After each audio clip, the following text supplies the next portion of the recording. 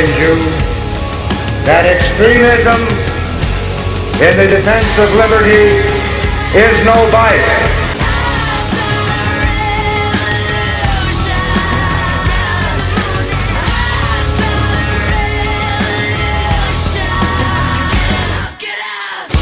America's Evil Genius, Travis Cook, back with you once again. And I wanted to talk about something uh, kind of interesting today, something I hear a lot about from uh, people I talk to every day, whether I talk to them in face to face conversations, uh, you know, out and about, or whether I talk to them on Facebook or through email or whatever.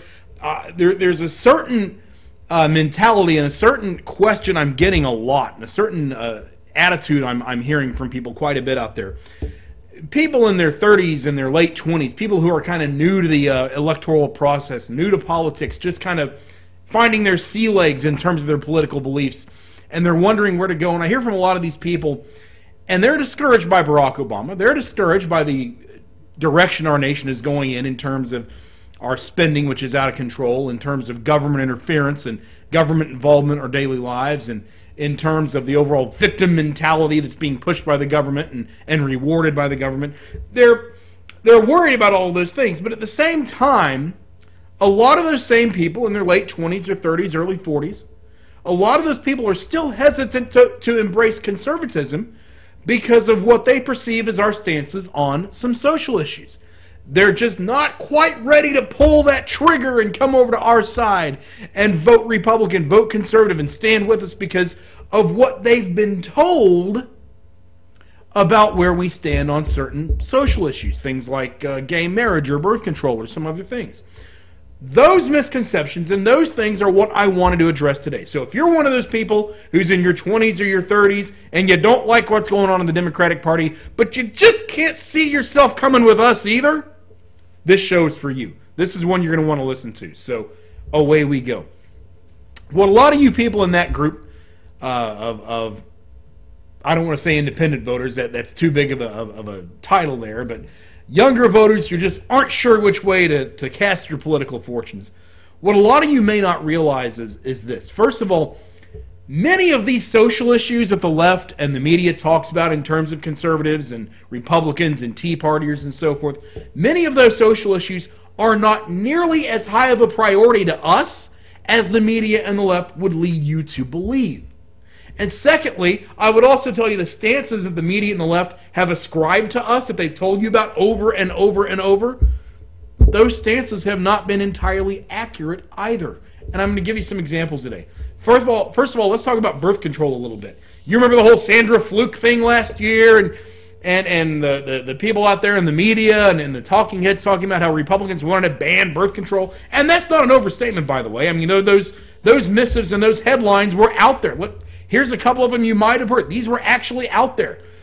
The Republican war on contraception the GOP contraception ban, jeopardizing women's health. So, you know, a lot of people out there would have you believe that during that whole controversy with Sandra Fluke and insurance companies and Catholic churches and so forth, that Republicans were trying to ban birth control. We were trying to take it off of your shelves at Walmart. Nothing could have been further from the truth. The facts of the matter are that in the birth control controversy of last year, our issue on the right was simply with the government forcing employers and religious institutions to pay for things that they had a moral opposition to.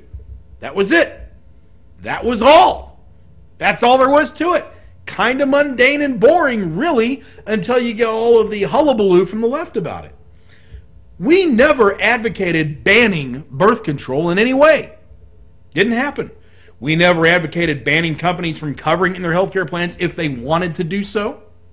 We never advocated banning people from purchasing it on their own. We never advocated banning it from being sold in stores or, or anything like that. We simply had a problem with one group of people being forced over and above their moral objections to pay for the birth control of another group of people. That was all. I mean, heck, even if you disagree with us on that, that sounds like something that reasonable people can disagree on, but not to the left. And you know, I talked about this uh, very topic at the time it happened last year on this show. And I made a particular challenge back then that nobody has taken me up on. with all of this talk about Republicans trying to ban birth control and go back to the Stone Age and all of this, I made a very simple challenge. I made a very simple statement. I said at the time that I challenged anybody, anywhere, to show me a recent clip or a quote from a Republican in 2012 who came out in favor of legislation that would ban birth control. And at this point, I have not had any takers on that. The reason I have not had any takers is because no such quote or no such clip exists. It did not happen. The only thing we cared about in that whole debate was allowing employers to exercise their moral choice. If an employer wanted to cover that stuff, go ahead, we don't care. You want to buy it on your own? Have at it. Who cares? Sandra Fluke can buy all the birth control she wants. Granted, with her looks, I'm not sure how much of it she needs, but whatever. All I'm saying is her employer, if they have a moral objection with it, shouldn't be forced to pay for it. That was all. That's a little bit less draconian than you might have been told, huh?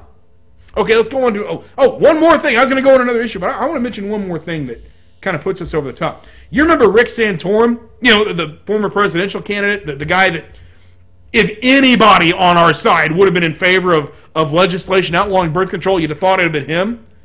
Well, even he at the time came out and said, and I'm paraphrasing here, but even Santorum said, hey, I've got personal issues against birth control, but it's not the job of the government to legislate it out of existence. Was weren't his exact words, but that was paraphrasing.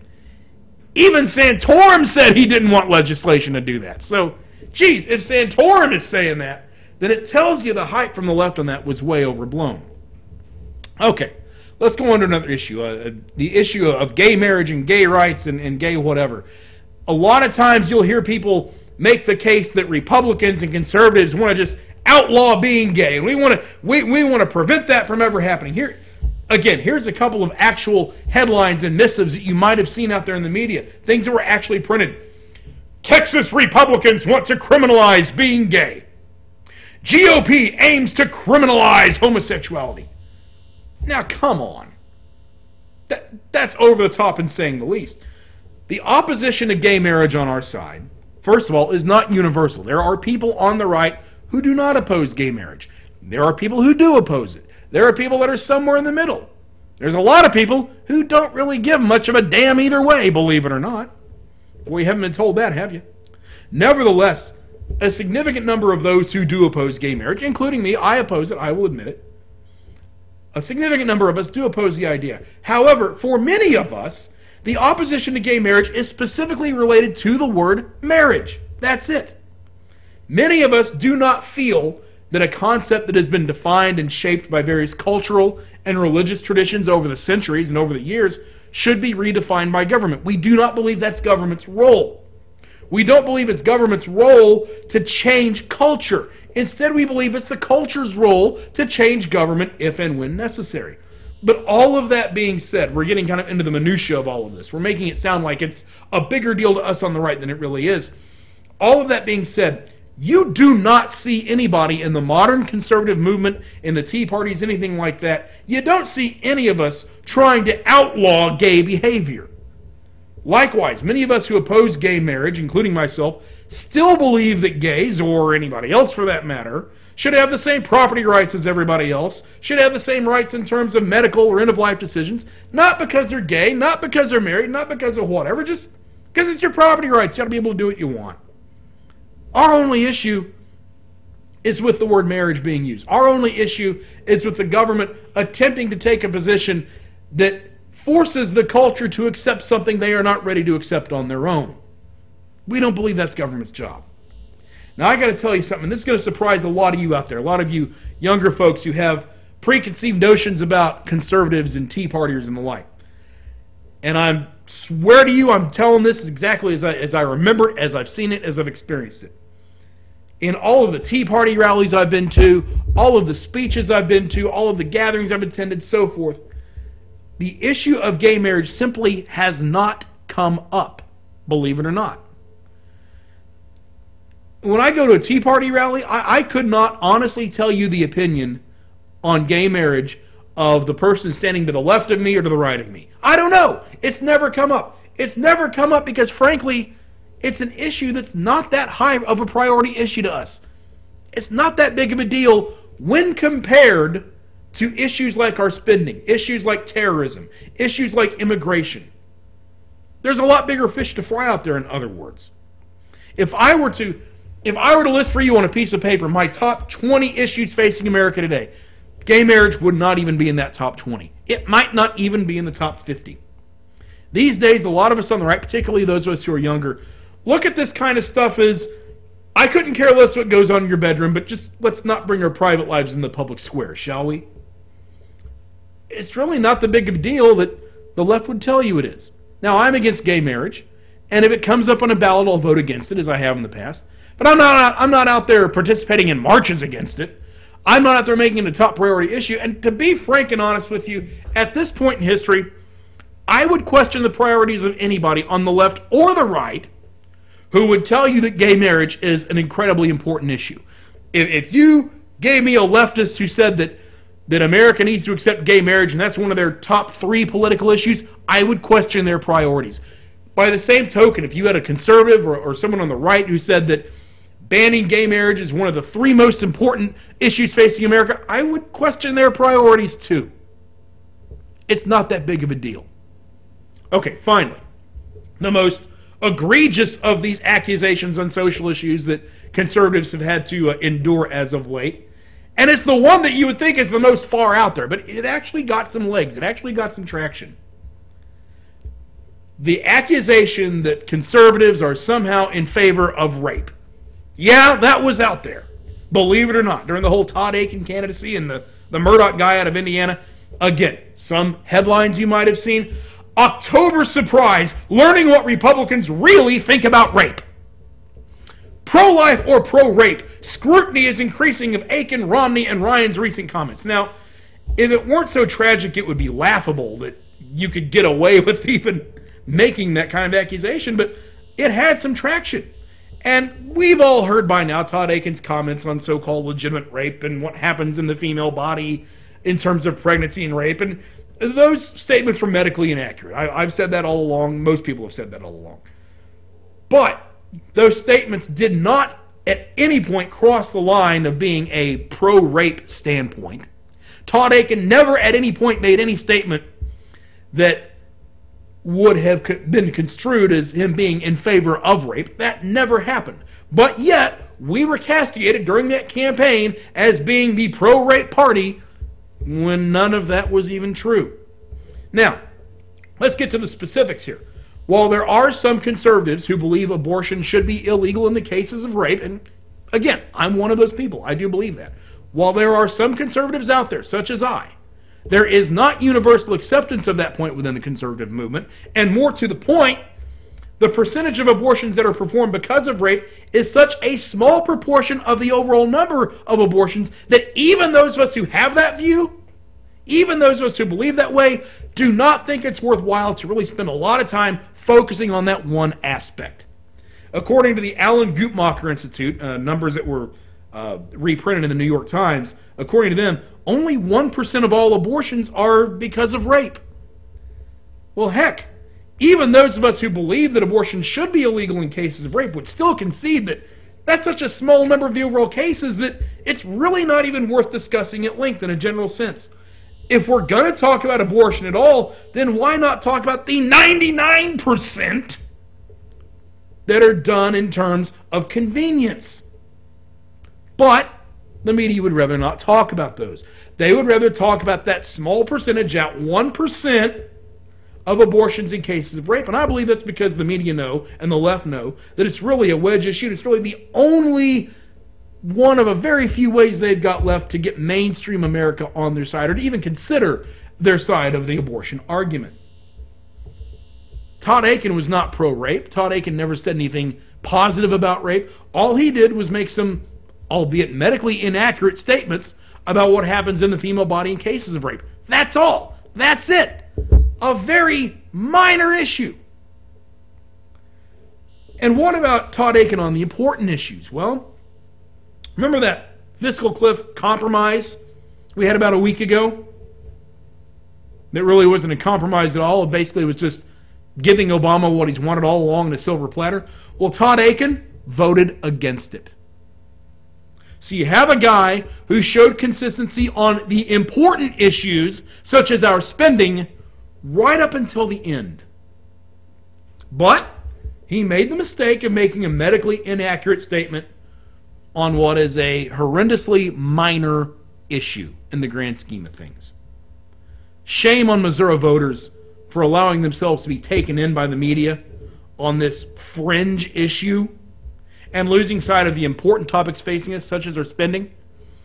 When you step back and look at the forest instead of the trees, Claire McCaskill's views on spending and her views on the role of, of government and the size of government will do far more long term damage to America than Akin's comical misunderstanding of the female body ever could. What I'm getting at is this, folks. I'm not saying that conservatives don't have opinions when it comes to social issues. But instead, what I'm telling you is that those issues, for this newest generation of conservatives, do not have the importance and emphasis for us that they did for previous generations of conservatives. And yes, I grew up around that previous generation, my parents' generation, grandparents' generation of conservatives, that were the stereotypical single issue voters, where it was all abortion and nothing else. I get it.